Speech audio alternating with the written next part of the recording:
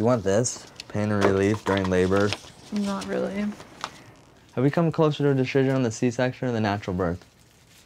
Well, I'm opening up to the, The situation. C-section idea, but Yeah. I'm fine with whatever you want.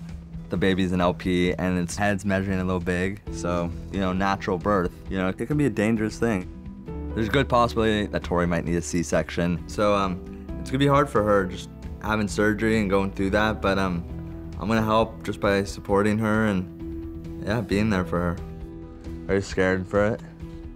for birth, um, scared for like the whole operation, like getting him. I'm scared.